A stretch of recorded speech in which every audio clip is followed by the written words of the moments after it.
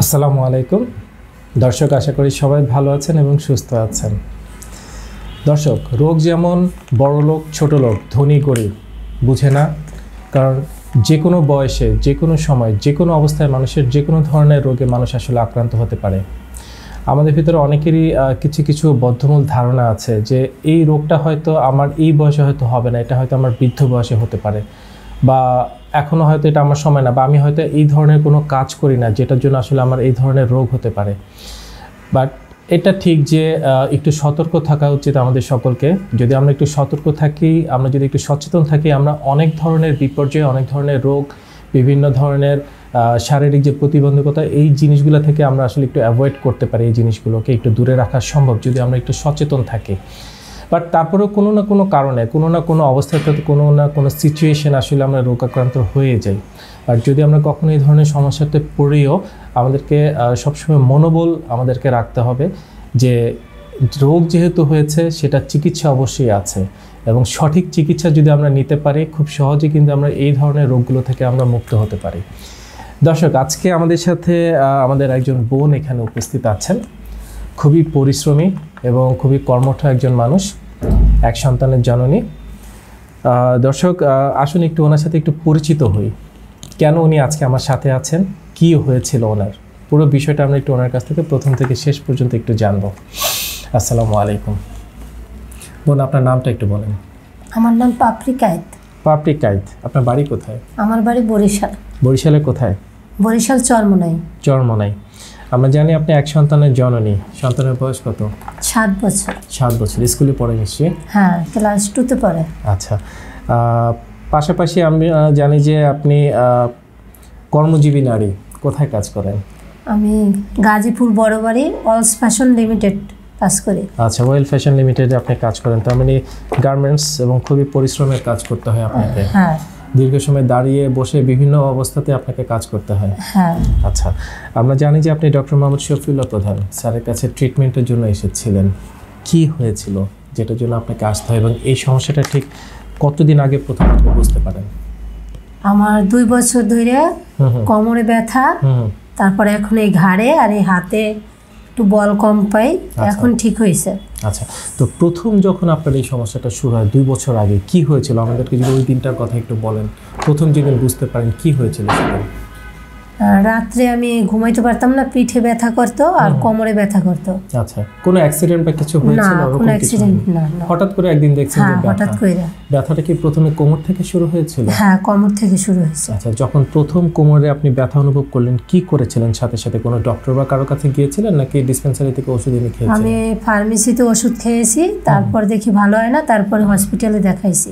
আচ্ছা হসপিটালে যখন প্রথম যান ডক্টর দেখার পরে কি বলেছিলেন? কোনো পরীক্ষা নিরীক্ষা হ্যাঁ করেছিলেন পরীক্ষা দিছে বলছে যে আপনার মেরুদণ্ডের হাড্ডি ক্ষয় হয়েছে আর ডায়াবেটিস ধরা পড়ছে। ও আচ্ছা ডায়াবেটিস আপনার বয়স কত? উনত্রিশ বছর বয়স খুব বেশি বয়স না? আচ্ছা তো যখন বলে যে আপনার হাড় ক্ষয় হয়েছে উনি কি কোনো ব্যায়াম বা কোনো কিছু দিয়েছেন নাকি মেডিসিন দিয়েছিলেন আপনাকে? মেডিসিন দিছে।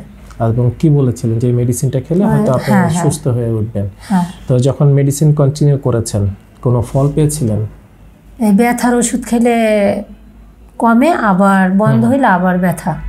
আচ্ছা সো আপনার অফিসে বা আপনার যে কর্মস্থল সেখানে আপনাকে দীর্ঘ সময় দাঁড়িয়ে কাজ করতে হতো যেটা আপনি কিছুক্ষণ আগে আমাদেরকে বলেছিলেন। তো এই কাজ করতে গিয়ে এই ব্যথার সাথে মানে কি ধরনের সমস্যাটা বেশি শুরু হতো? প্রথমে কি কোমর থেকে ব্যথাটা এই যে ঘাড় থেকে হাত দিয়ে কাজ করি না নুয়ে কাজ করি এই ঘাড়ের রোগটা ফুললে উঠতো আর এই সাইডটি ব্যথা করতো। একটা সময় আপনাকে হয়তো বসে বা শুয়ে একটু রেস্ট নিতে হতো। হ্যাঁ। রেস্ট নিয়ে পরে আবার কাজ শুরু করতে হতো এরকম। হ্যাঁ। আচ্ছা কখনো কি ব্যথাটা এত বেশি হয়েছে যে আপনি হয়তো সারা রাত ঘুমাতে পারছেন না ব্যথার হ্যাঁ জন্য হয়েছে। ব্যথার জন্য ঘুমাইতে পারি না রাতে অনেক দিন রাতে ঘুমাইতে পারিনি ব্যথার জন্য। এবং পরদিন আবার অফিসে গিয়ে হ্যাঁ পরের দিন আবার অফিসে আসছে। আবার একটি ছোট সন্তান আছে তাকেও আপনাকে লালন পালন করতে হতো। মানে আচ্ছা তো যখন প্রচণ্ড ব্যথা হতো সর্বোচ্চ খারাপ এমন কি হয়েছে যে আপনি ব্যথার জন্য হয়তো অফিসে যেতে পারেননি বা বিছানায় শুয়ে থাকতে হয়েছে? এরকমটা কখনো হয়েছিল আপনার? না আমি ওই ব্যথার ওষুধ খেয়ে খেয়ে আবার অফিসে যাইতাম। কখন কি এমন হয়েছে ব্যথার ওষুধ আজকে খাচ্ছেন কিন্তু ব্যথা যাচ্ছে না? সেরকমটা হয়েছে না ব্যথার ওষুধ খাইলে মানে ব্যথাটা কিছুটা কমে হ্যাঁ যেত। কিছুটা কম কিন্তু এটা পার্মানেন্ট কোনো সলিউশন হয়নি। না। তখন এর পরবর্তীতে আর কোনো ডক্টর দেখাননি? না আমার দেখাই নাই। আমার অফিসে এক ভাই আছে আলামিন সে ডিপিআরসি হসপিটালের কথা বলছে। তখন আমি একুশে ফেব্রুয়ারি দিন আসছি এই জায়গা। আচ্ছা মানে আপনার এক ভাই আছেন আলামিন আপনি ওনার কাছে প্রথমে ডিপিআরসি হসপিটালের কথা আপনি জানতে হ্যাঁ পারেন। হ্যাঁ এই জায়গায় চিকিৎসা নিয়েছে আচ্ছা নেওয়ার পরে ওনার কি অবস্থা সেটা জানা আছে আপনার ওনার এখন কমরে বেল দিতে আছে কি আছে হ্যাঁ। ভালো আছেন। হ্যাঁ ভালো আছে জব করতে আছে। এবং উনি বলাতে যে উনি সুস্থ আছেন ভালো আছেন এটা শোনার পরে আপনি নিজের ডিসিশন নিয়েছেন আপনি হ্যাঁ। স্যারের কাছে চলে আসবেন। হ্যাঁ।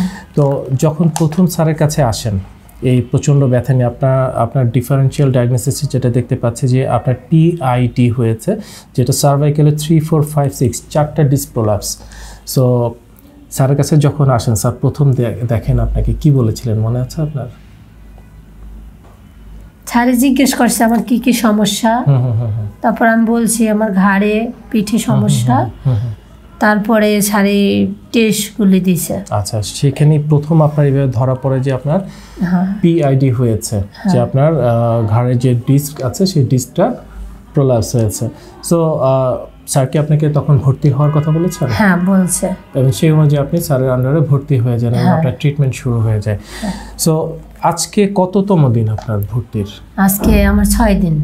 তিন তারিখে ভর্তি হয়েছে। তিন তারিখে ভর্তি হয়েছেন আজকে ছয় দিন। হ্যাঁ। আমি কিছুদিন আগে যখন আপনার রুমে এসেছি যে একটু খোঁজ খবর নেওয়ার জন্য যে আপনি কেমন আছেন আপনি আমাকে হাসি মুখে বলেছেন আপনি ভালো আছেন আমি জিজ্ঞেস করছি রুগী কোথায়? আপনি নিজে আমাকে দরজা খুলে বলেছেন যে আমি নিজেই রুগী। হ্যাঁ। এবং আপনি বলেছেন যে আপনি এখন সম্পূর্ণ সুস্থ আছেন ভালো আছেন। এই কথাটা কি সত্যি? হ্যাঁ সত্যি। তার মানে মাত্র ছয় দিনে এই গত দুই বছর থেকে আপনি যে কষ্ট স্বীকার করেছেন কাজ করতে পারতেন না প্রায় জীবন প্রায় অসম্ভব হয়ে গিয়েছিল। হয়তো অনেক রাতের পর রাত গিয়েছে ব্যথার যন্ত্রণা হয়তো কান্না করেছেন একা একা কাউকে বলতে পারেননি। এই যে কষ্টগুলো দূর হয়ে গেছে ভেবেছিলেন যে মাত্র ছয় দিনে সুস্থ হয়ে যাবেন? স্যার তো বলছিল পনেরো দিন লাগবে। হুম হুম। কিন্তু আপনি সেখানে ছয় দিনই মাত্র হ্যাঁ। সুস্থ হয়ে গেছেন। ব্যথামুক্ত একটা জীবন সুস্থ একটা জীবন কেমন লাগছে? অসুস্থ থাকলে কি ভালো লাগে? সুস্থই তো ভালো। সেটাই। হ্যাঁ। হয়তো এই মুহূর্তে অসংখ্য মানুষ আপনাকে দেখছেন যারা হয়তো এই ধরনের সমস্যাটা ভুগছেন। আপনি যেমন জানতে পেরেছিলেন আপনার একজন ভাইয়ের মাধ্যমে যে ডিপিআরসি হসপিটালে এরকম একটা চিকিৎসা হয় সেই অনুযায়ী আপনি এসেছেন। তারা হয়তো জানেন না যে কোথায় গেলে একটা ভালো চিকিৎসা পাবেন। তাদের জন্য যদি আপনি কিছু বলেন। আমি তাদেরকে বলব ডিপিআরসি হসপিটালে আসতে। কেন বলবেন? এই রোগ মুক্ত হইতে হইলে স্যারের কাছে আসতে হবে। কারণ আপনি নিজে এসে আপনি সুস্থ হ্যাঁ। হয়েছেন আপনার একটা বিশ্বাস চলে এসেছে যে হ্যাঁ এখানে আসলে অবশ্যই আমি সুস্থ হব এবং তারা আসলে তারা অবশ্যই সুস্থ হবেন। দর্শক শুনলেন আমাদের এই বোনের কথা। উনি যতটুকু পেরেছেন উনি বলেছেন ওনার মনের ভাব প্রকাশ করেছেন। আপনারা বুঝতে আর আপনারা বুঝতে পারেন জানেন বুঝেন সবই। দর্শক এরকম অসংখ্য মানুষ আছেন যারা দিনের পর দিন শুধুমাত্র না জানার কারণে ধীরে ধীরে অসুস্থ হয়ে একটা সময় সারা জীবনের জন্য পঙ্গুত্ব বরণ করেন। সারা জীবনটা তাদের একরকম বিছানায় কাটে, অন্যের গলগ্রহ হয়ে থাকতে হয়। হতে পারে আপনার ঘরের আপন মানুষ। আপনি নিজে একবার চিন্তা করেন যে আপনি একটা মানুষকে কতবার বলবেন, আমাকে এটা দাও, আমাকে ওটা দাও, আমাকে একটু টয়লেটে নিয়ে যাও আমার এটা করে দাও। কতবার বলবেন? আপনার নিজের কাছে একটা সময় ভালো লাগবে না। একটা সময় আপনি নিজে প্রার্থনা করতে থাকবেন যে, এই জীবন থেকে আমার মরে যাওয়াটা অনেক বেশি ভালো। কিন্তু কেন? যেখানে চিকিৎসা আপনার হাতের কাছে আছে, চাইলেই আপনি সুস্থ হতে পারবেন। তাহলে কেন সেটা নেবেন না? আমার এই বোনকে দেখুন, যেখানে পনেরো দিনের কথা বলা হয়েছিল, মাত্র ছয় দিনে উনি কিন্তু সুস্থ হয়ে গেছেন, ভালো হয়ে গেছেন। এবং এখন উনি কনফিডেন্ট যে উনি আবার ঠিক আগের মতো করে সব কাজ উনি ঠিক আগের মতো করে করতে পারবেন। আমার এই বোন যদি পারেন আপনারা অবশ্যই পারবেন। ভালো থাকবেন, সুস্থ থাকবেন। আসসালামু আলাইকুম।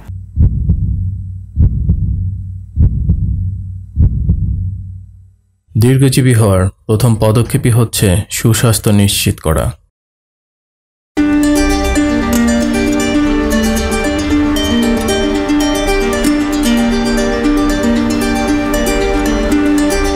দেহ ও মন ভালো থাকলেই ভালো থাকে স্বাস্থ্য। আমাদের রয়েছে আধুনিক যন্ত্রপাতি।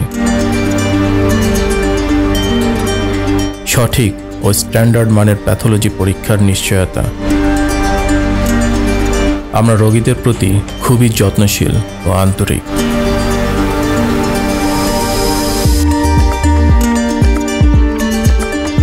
আমরা সর্বপ্রথম প্রতিটি রোগীর সঠিক রোগ নির্ণয় করি, এরপর রোগ অনুযায়ী অপারেশনবিহীন চিকিৎসা দিয়ে থাকি। আমাদের প্রতিটি ডক্টর, নার্স ও থেরাপিস্ট প্রশিক্ষণপ্রাপ্ত ও দক্ষ। আমরা প্যারালাইসিস রোগীদের নতুন করে চলতে শিখাই।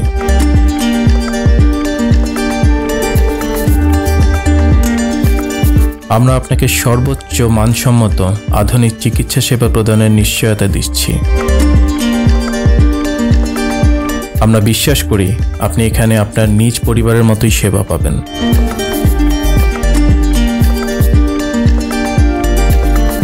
বাত ব্যথা প্যারালাইসিস ও আর্থ্রাইটিসের একটি নির্ভরযোগ্য প্রতিষ্ঠান। আমরা চাই না আপনারা বারবার আমাদের কাছে ফিরে আসুন তবুও আমরা আছি সবসময় সর্বদা আপনাদের পাশে TPRC hospital and diagnostic lab limited. আস্থা বিশ্বাস ও নির্ভরতায় অবিচল।